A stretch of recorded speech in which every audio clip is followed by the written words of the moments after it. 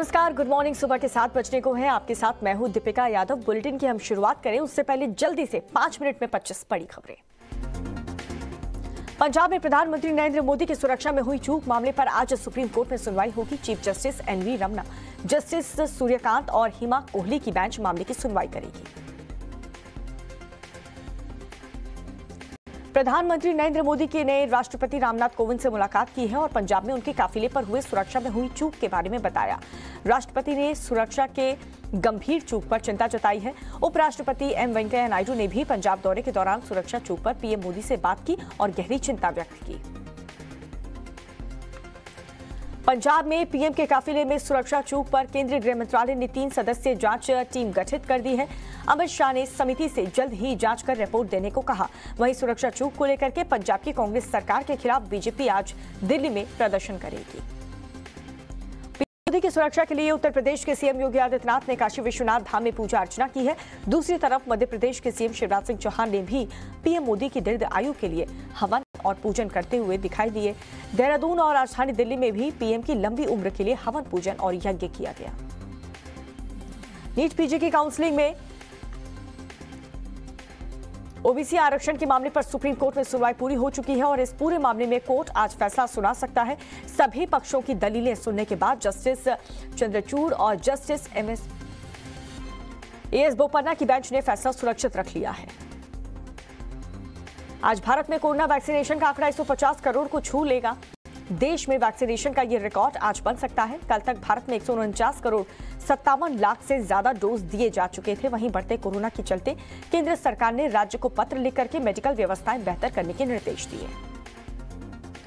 दिल्ली में एक दिन में कोरोना के पंद्रह हज़ार संतानवे नए मामले सामने आए हैं। 24 घंटे के अंदर बात करें तो छह मरीजों की मौत हो चुकी है। दिल्ली में कोविड की संक्रमण दर पंद्रह दशमलव तीन चार फ़ीसदी के पार पहुँच गई।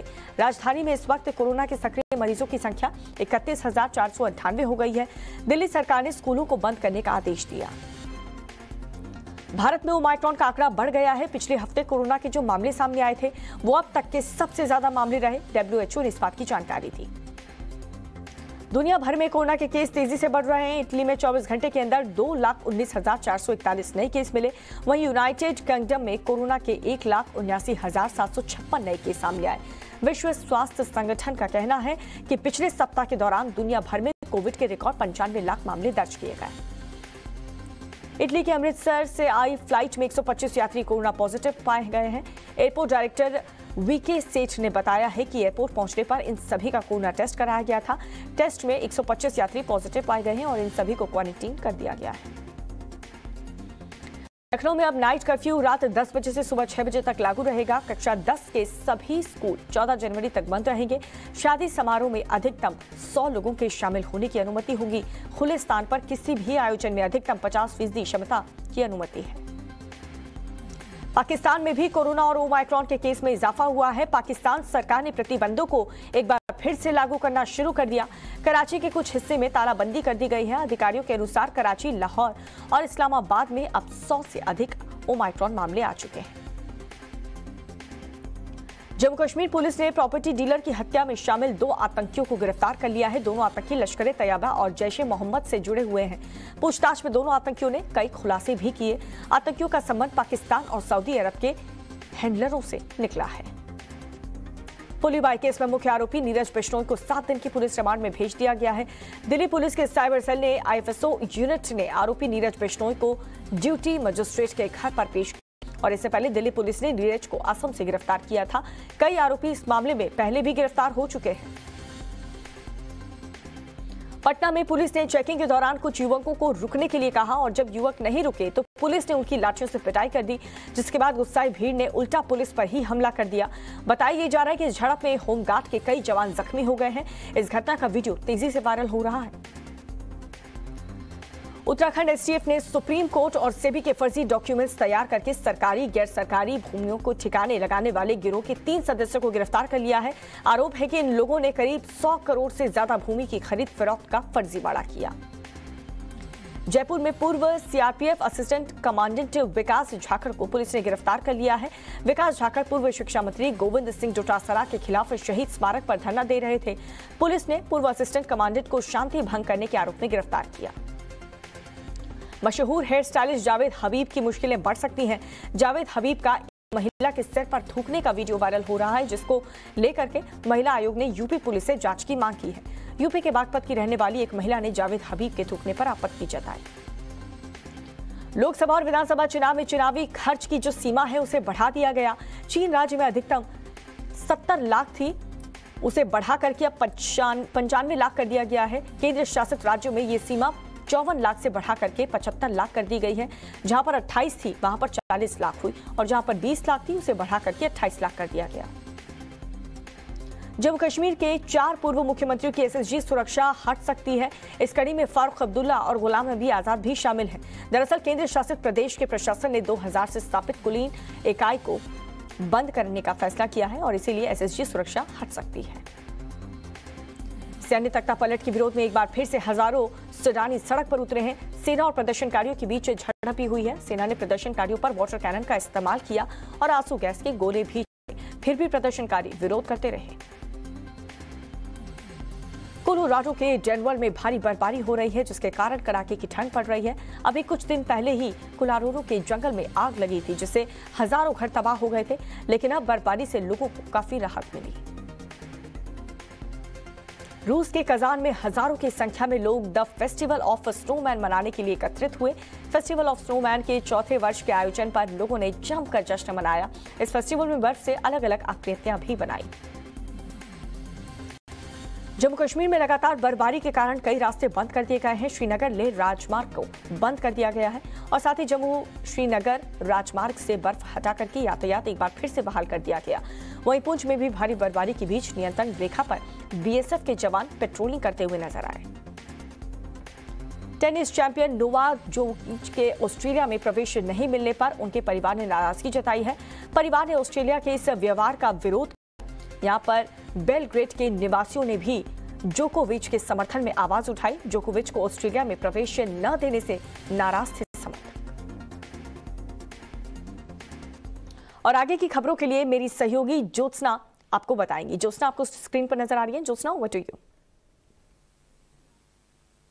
शुक्रिया, Deepika. Good morning times of Bharat पर बहुत बहुत स्वागत है आप सभी का। देखिए, देश में कोरोना की तीसरी लहर की रफ्तार लगातार बढ़ती जा रही है। रफ्तार तेज है। मामले जो रात आठ बजे तक के हैं, वो एक लाख सात हज़ार आठ सौ अड़तालीस के करीब पहुँच गए हैं। आंकड़ा सबसे ज़्यादा अगर कहीं है तो वो महाराष्ट्र और दिल्ली में है। दिल्ली और महाराष्ट्र दोनों राज्य प्रभावित हैं। कल तक कोरोना का जो आंकड़ा है, एक लाख सात हज़ार आठ सौ अड़तालीस रहा। महाराष्ट्र में छत्तीस हज़ार दो सौ पैंसठ और दिल्ली में पंद्रह हज़ार संतानवे केस सामने आए हैं। देश में नौ महीने बाद फिर एक बार 24 घंटे के नए केस का आंकड़ा एक लाख के पार हुआ है। ये हम आपको रात आठ बजे तक का आंकड़ा बता रहे हैं। अभी नौ बजते ही देखिए, स्वास्थ्य मंत्रालय के से आंकड़े अपडेट हो जाएँगे। तो ये बेतहाशा बढ़ोतरी से आप समझ सकते हैं कि आपको अपना ख्याल रखने की बहुत ज़्यादा ज़रूरत है। इन आंकड़ों को बताने का मतलब आपको डराना नहीं है। आपको सिर्फ़ सतर्क करना है कि आप सावधानी बरतते रहिए। लगातार कल मैराथन बैठकें भी हुई हैं।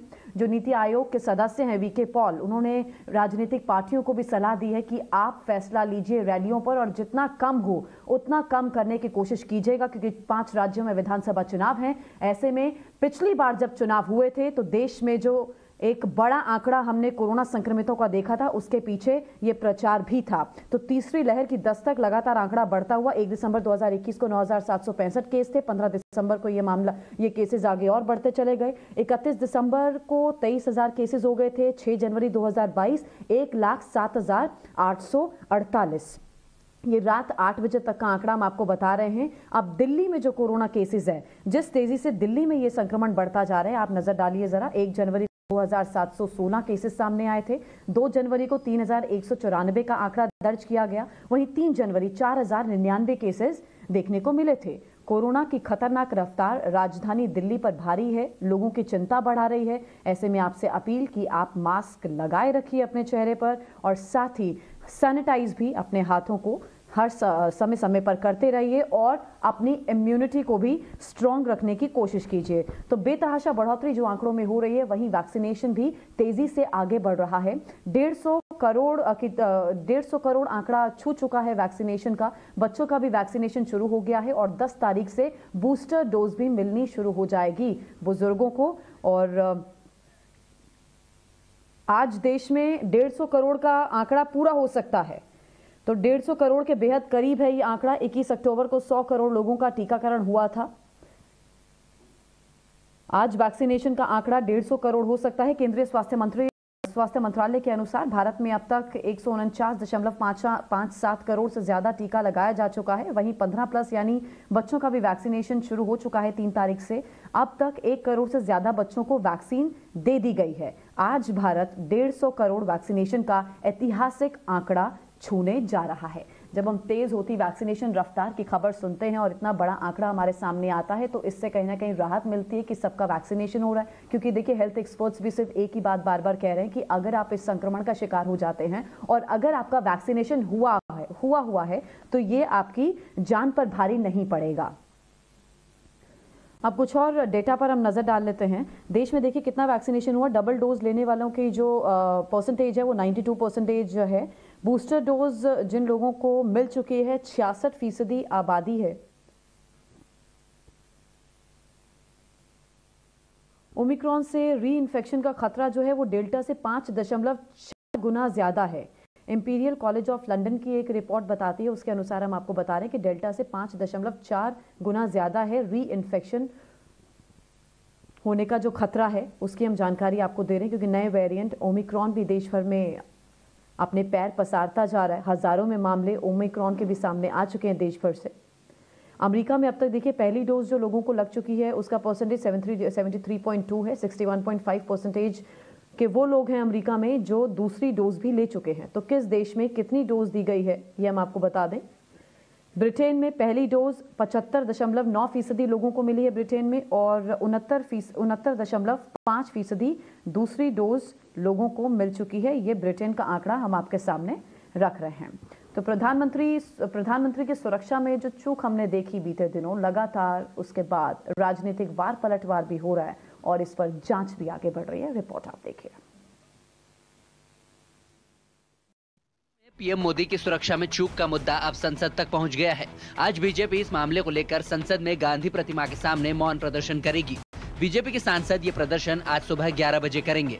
वहीं दूसरी तरफ़ गृह मंत्री अमित शाह ने पंजाब में पीएम की यात्रा के दौरान हुई गंभीर चूक की जाँच के लिए तीन सदस्यीय कमेटी का गठन कर दिया है। टीम को जल्द ही जाँच कर रिपोर्ट सौंपने के लिए कहा गया है। इससे पहले गृह मंत्री अमित शाह ने पीएम मोदी की सुरक्षा में सेंध लगने के बाद ट्वीट कर कहा था की गृह मंत्रालय ने पंजाब में पीएम मोदी की सुरक्षा पर विस्तृत रिपोर्ट मांगी है। प्रधानमंत्री के दौरे में सुरक्षा प्रक्रिया में इस तरह की लापरवाही पूरी तरह से अस्वीकार्य है और जवाबदेही तय की जाएगी। प्रधानमंत्री मोदी की सुरक्षा में चूक के मामले को तूल पकड़ने के बाद कांग्रेस अध्यक्ष सोनिया गांधी ने पंजाब के मुख्यमंत्री चरणजीत सिंह चन्नी से फ़ोन पर बातचीत कर घटना की जानकारी ली है। चन्नी ने अपनी सरकार का बचाव करते हुए सोनिया गांधी से कहा है कि पीएम मोदी की सुरक्षा में किसी भी तरीके की कोई चूक नहीं हुई है। पंजाब पुलिस ने विशेष सुरक्षा दल को पूरा सहयोग दिया है। और यही मामला देश की सर्वोच्च अदालत तक भी कल पहुँचा। आज इस मामले पर सुनवाई होनी है। एक मिनट में खास रिपोर्ट आप देखिए। पंजाब में पीएम मोदी की सुरक्षा में हुई चूक का मामला सुप्रीम कोर्ट भी पहुँच गया है। आज इस मामले को लेकर अदालत में सुनवाई होने वाली है। इस मामले की सुबह साढ़े दस बजे सुप्रीम कोर्ट में सुनवाई होगी। वरिष्ठ वकील मनिंदर सिंह ने चीफ जस्टिस के सामने मामला रखते हुए कोर्ट से घटना पर रिपोर्ट तलब करने की मांग की है। उन्होंने कहा है कि भविष्य में ऐसी घटनाओं की रोकथाम सुनिश्चित किए जाने की ज़रूरत है। गुरुवार को कोर्ट की कार्यवाही शुरू होते ही वरिष्ठ वकील मनिंदर सिंह ने chief justice N V Ramana की अध्यक्षता वाली बेंच के सामने मामला रखा। उन्होंने कहा कि सुरक्षा बंदोबस्त में चूक हुई है। इस पर चीफ जस्टिस ने उनसे पूछा कि वो कोर्ट से क्या चाहते हैं। मनिंदर सिंह ने जवाब दिया कि मामले से जुड़े सभी रिकॉर्ड बठिंडा के जिला जज के पास सुरक्षित रखने का निर्देश दिया जाए। आपको बता दें कि जब ये घटना हुई थी, तब प्रधानमंत्री नरेंद्र मोदी सड़क के रास्ते से जा रहे थे। मनिंदर सिंह ने आगे कहा कि हालात जैसे भी हों, ऐसी घटना दोहराव रोकना ज़रूरी है। इस पर चीफ जस्टिस ने उनसे कहा कि वह याचिका की कॉपी पंजाब सरकार को सौंपे। मामले पर आज विचार किया जाएगा।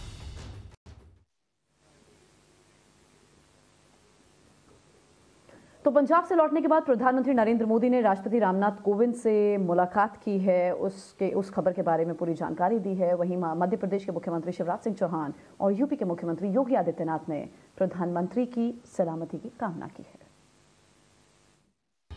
प्रधानमंत्री नरेंद्र मोदी ने गुरुवार को राष्ट्रपति रामनाथ कोविंद से राष्ट्रपति भवन में मुलाकात की और पंजाब में उनके काफिले में हुई सुरक्षा में हुई चूक के बारे में बातचीत की। राष्ट्रपति ने सुरक्षा में गंभीर चूक पर चिंता जताई है। वहीं उपराष्ट्रपति एम वेंकैया नायडू ने भी पंजाब दौरे के दौरान सुरक्षा चूक पर पीएम मोदी से बात की और गहरी चिंता व्यक्त की है।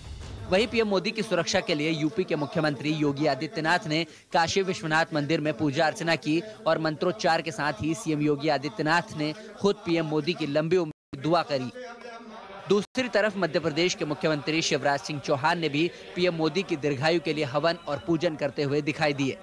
सिर्फ़ उत्तर प्रदेश और मध्य प्रदेश ही नहीं, उत्तराखंड की राजधानी देहरादून में भी पीएम की लंबी उम्र के लिए हवन और पूजन किया गया। इसके अलावा देश की राजधानी दिल्ली में भी पीएम की लंबी आयु के लिए यज्ञ किया गया। तो कोरोना से सबसे ज़्यादा प्रभावित अगर कोई राज्य है तो वो महाराष्ट्र और दिल्ली है। क्या आंकड़ा है इन दोनों राज्यों में? एक मिनट की रिपोर्ट में नज़र आ रही है। दिल्ली में एक दिन में कोरोना के पंद्रह हज़ार संतानवे नए मामले सामने आए हैं। 24 घंटे में छह मरीजों की मौत हुई है, जिन्हें मिलाकर पच्चीस हज़ार एक सौ सत्ताईस लोगों की अब तक कोरोना से मौत हो चुकी है। दिल्ली में कोविड की संक्रमण दर पंद्रह दशमलव तीन चार फ़ीसदी के पार पहुँच गई है। राजधानी में इस वक्त कोरोना के सक्रिय मरीजों की संख्या इकतीस हज़ार चार सौ अंठानवे हो गई है। दिल्ली सरकार ने स्कूलों को बंद करने के साथ ही सभी छात्रों को मिड डे मील के लिए सूखा ब्लैंकेट बांटने का आदेश दिया है। बढ़ते कोविड के मामलों को देखते हुए दिल्ली सरकार ने अपने नौ अस्पतालों में मौजूदा 3316 से 4350 तक कोविड बेड बढ़ाने का आदेश दिया है।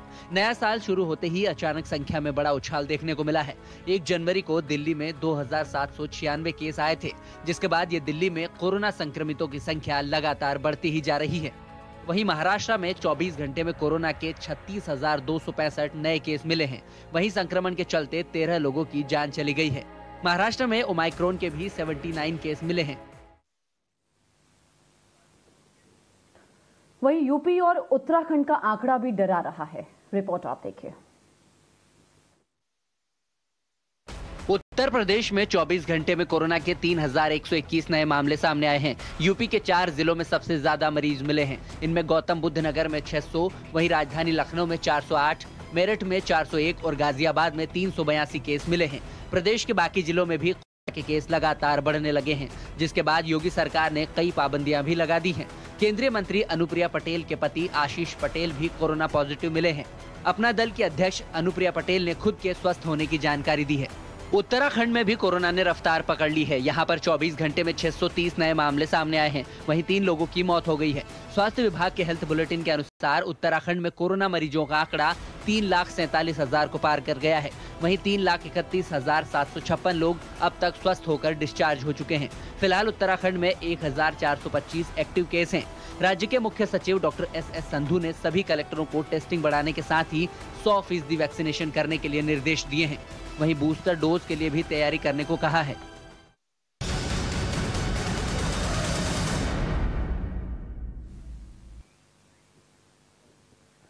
और इस बीच एक बड़ी खबर जम्मू कश्मीर के बडगाम से आ रही है। बडगाम में एनकाउंटर जारी है इस समय और एक आतंकी को सुरक्षा बलों ने ढेर कर दिया है। बड़ी कामयाबी सुरक्षा बलों के हाथ लगी है। बड़ी साजिश को अंजाम दिया जाना था इस आतंकी की तरफ़ से। ये आतंकी किस आतंकी संगठन से जुड़ा है? अभी इस बाबत जानकारी नहीं है, अभी और जानकारी जुटाने की कोशिश है कि किस आतंकी संगठन से इस आतंकी का संबंध था। इसके पास से किन किन चीज़ों की बरामदगी हुई है? जम्मू कश्मीर के बडगाम से खबर एनकाउंटर की जानकारी। प्रदीप मेरे सहयोगी और अपडेट हमें देंगे। प्रदीप, क्या अपडेट है? देखिए, जोलवा कालपुरा का इलाका ये बडगाम में है। यहाँ कल देर रात खबर मिलती है कि दो से तीन के करीब आतंकवादी छुपे हुए हैं। जैसी खबर मिलती है, कल देर रात यहाँ पे घेराबंदी कर दी गई थी। आज सुबह फायरिंग होती है वहाँ आतंकवादियों की तरफ़ से और उस जवाबी फायरिंग में एक आतंकवादी मार गिराया गया है और अभी भी लगता है एक या दो आतंकवादी वहाँ पे छुपे हैं। इसके ऑपरेशन वहाँ पे जारी है। आप देखिए, पिछले चार दिन में ये आठ आतंकवादी मार दिए हैं। इससे ये पता चलता है कि किस तरीके से सुरक्षा बल ऑपरेशन जो है काउंटर टेरर ऑपरेशन जो है डोमिनेट कर रहे हैं और किसी को भी सर उठाने का नहीं दे रहे भी आतंकवादी अगर सर उठाने की कोशिश कर रहा है, उसका सर कुचल दिया जाता है और उसके साथ साथ ओवरग्राउंड नेटवर्क को भी पूरी तरह से तहस नहस करने की कोशिश है, क्योंकि ओवरग्राउंड जो नेटवर्क है, यही है जो इनको लॉजिस्टिक सपोर्ट प्रोवाइड करता है है जो इनको हाइड प्रोवाइड करता है और हथियार एक जगह से दूसरी जगह लेके जाता है। अभी तक ये पता नहीं है कि ये कौन आतंकवादी है। लेकिन लगता है कि शायद लश्कर तोयबा के यहाँ पे ग्रुप था। देखिए कंफर्मेशन तभी होगी जब ये बॉडी पूरी तरह से रिलीव करके ऑपरेशन खत्म होगा। उसके बाद ही पता चलेगा कौन सा संगठन था। फ़िलहाल यही कह सकता हूँ कि ऑपरेशन अभी भी जारी है। एक आतंकवादी मार दिया गया है और बड़ी कामयाबी सुरक्षा बलों के लिए। और एक और बार पाकिस्तान और उनके भाड़े के आतंकवादियों को दचका